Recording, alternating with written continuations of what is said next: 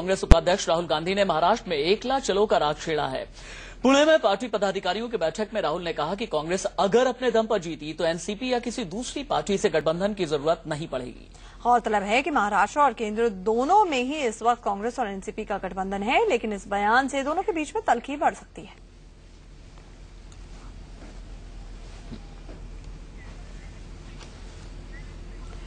तो तस्वीरें जो आप देख रहे हैं, दरअसल बड़ी खबर ये आ रही है कि राहुल गांधी ने एक बारी फिर से एकला चलो रे का राग अलापा है। बड़ी बात यह है कि पिछले दो लोकसभा चुनाव और पिछले दो विधानसभा चुनाव में कांग्रेस राज में अपने ये कहें कि कनिष्ठ सहयोगी, यानी छोटा सहयोगी एनसीपी के साथ मिलकर लड़ चुकी है। मेरे साथ मौजूद है political editor Manish Awasthi phone line पर लाइव मनीष, मैं दोनों चीज़ें एक साथ पूछना चाहूँगा कि 48 लोकसभा की सीटें हैं, दो सौ अट्ठासी विधानसभा की सीटें हैं। 2014 में ही लोकसभा का चुनाव होगा। दो तीन महीने के बाद उसके बाद विधानसभा का चुनाव होना है।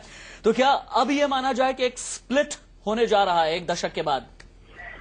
देखिए, जहाँ तक बिखराव की बात है राशिद, इस पर मैं अभी ये टिप्पणी देना उचित नहीं समझूँगा, लेकिन हाँ इतना ज़रूर है कि मराठा छत्र पवार के अपने इलाके में पुणे जहाँ से बारामती जो कि पुणे ज़िले में आता है हम्म। वहाँ पर जाकर जिस तरीके से राहुल गांधी ने कांग्रेस के उपाध्यक्ष एक तरह से ललकारा है एनसीपी और शरद पवार को उससे ये साफ़ है कि हम्म। हाँ राहुल भी अपनी तलखी के ज़रिए बताना चाहते हैं कि अगर आप बार बार इस तरह की हिदड़ भपकियाँ अलग होने की देते रहेंगे तो कांग्रेस भी कमज़ोर नहीं लेकिन इसके पीछे की पृष्ठभूमि अगर हम देखें राशिद तो उसमें सीधे तौर पर राहुल गांधी ने अपने कार्यकर्ताओं से कहा है कि आप ज़मीन पर जाकर लोगों से मिले लोकाभिमुख हों अपनी नीतियों के के बारे में बताएँ पार्टी के जो क्रियान्वयन है जिस तरह से कार्य और नीति लेकर कांग्रेस आगे चल रही है उसमें चाहे फ़ूड सिक्योरिटी हो फिर डायरेक्ट बेनिफिट ट्रांसफ़र हो इन सारी बातों को अगर आप जनता तक लेकर पहुँचेंगे तो हमें एनसीपी क्या किसी भी दल के मदद की या उनको साथ लेकर सरकार बनाने की ज़रूरत की दरकार होगी ही नहीं।